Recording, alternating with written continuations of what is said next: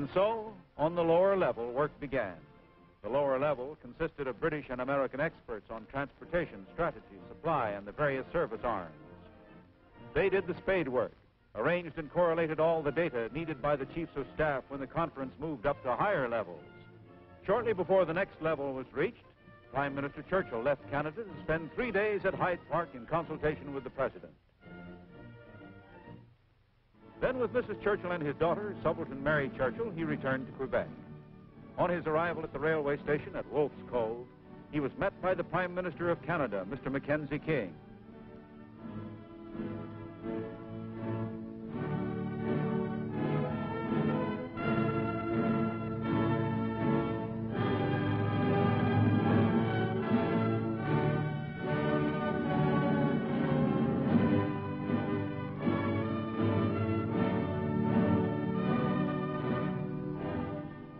Together they drove to the Governor General's house at the Citadel.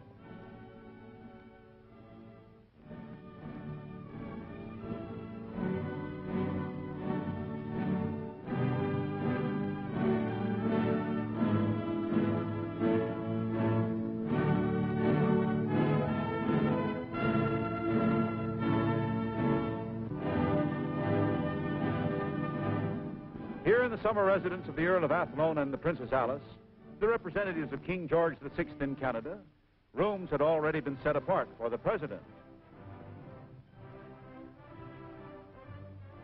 A simply furnished bedroom. A comfortable and practical study.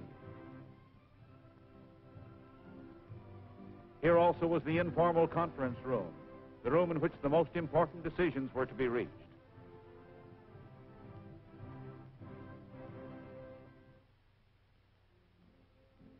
And now the conference moved up to the higher level, the combined chiefs of staff, the highest ranking officers in both nations.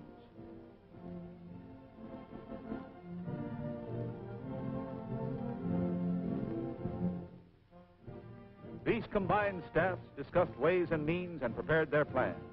Plans to be submitted when the conference reached its highest level, when President Roosevelt arrived.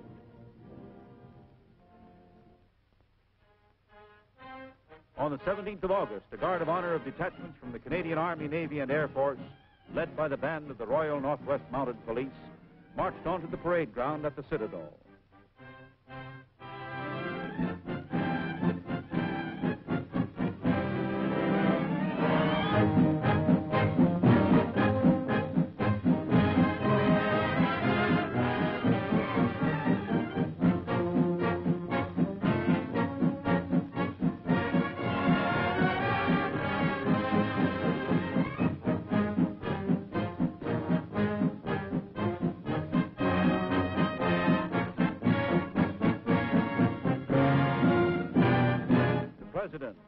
Accompanied by his personal staff, had arrived in Quebec and was on his way to the Citadel with Mr. Mackenzie King and Mr. Winston Churchill.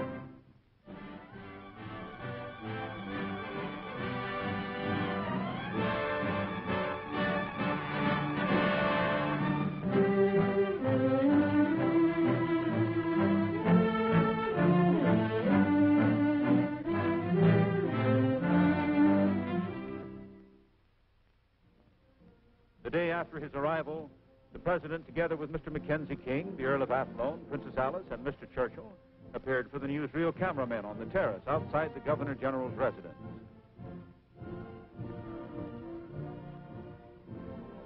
They were later joined by the combined chiefs of staff. One chair remained vacant. Suddenly, the drone of a low-flying plane was heard overhead. A flying boat circled in the morning sky. Slowly it turned into the wind and then swooped down to make a graceful landing on the St. Lawrence River.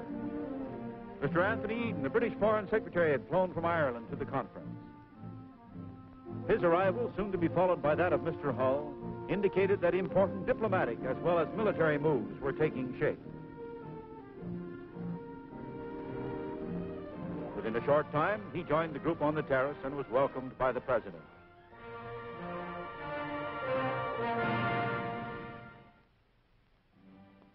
As the conference entered its final stages, the United Nations waged the new kind of war which Hitler had taught them, the war of nerves.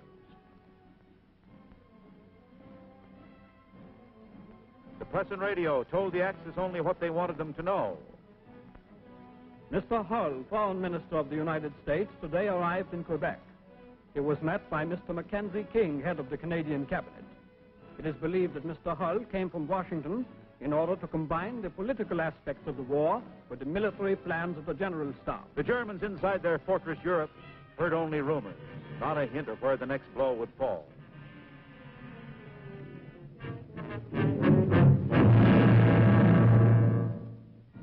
The War of Nerves. Today, Mr. Churchill drove through the streets of Quebec on his way to visit the City Hall. The English Prime Minister, smiling and confident, The Italian people, their country now an outer bastion of Hitler's fortress, heard not a hint of the armistice already in the making. The Honorable Mr. Henry L. Stimson, the American Secretary for War, flew in from Washington. The Japanese knew that they too were not forgotten at Quebec. Mr. T.V. Soong, the Chinese Minister of Foreign Affairs, has arrived to join the... Already a new blow was being planned against them. The American Secretary of the Navy, Mr. Knox, arrived by airplane today from Washington. The Secretary appeared confident. The War of Nerves. Did Hitler, Tojo, and the wretched Mussolini remember those days when they had met?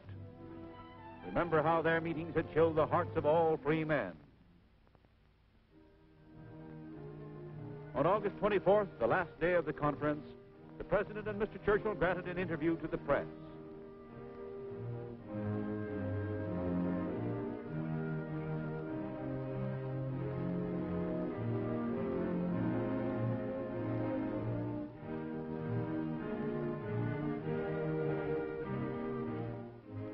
What had been decided could not yet be revealed. But as the President was later to state at Ottawa, and we have arrived harmoniously at certain definite conclusions. Of course, I am not at liberty to disclose just what these conclusions are, but in due time, we shall communicate the secret information of the Quebec Conference to Germany, Italy, and Japan.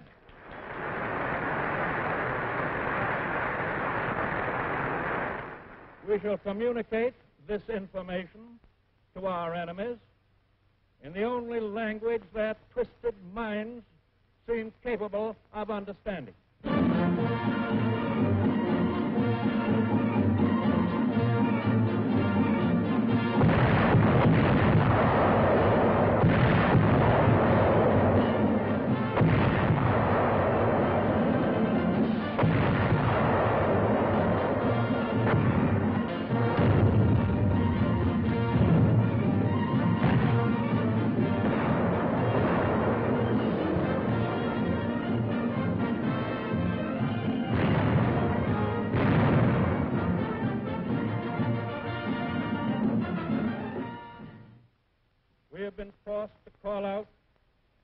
What we in the United States would call the sheriff's posse to break up the gang in order that gangsterism may be eliminated in the community of nations. We are making sure absolutely irrevocably sure that this time the lesson is driven home to them once and for all.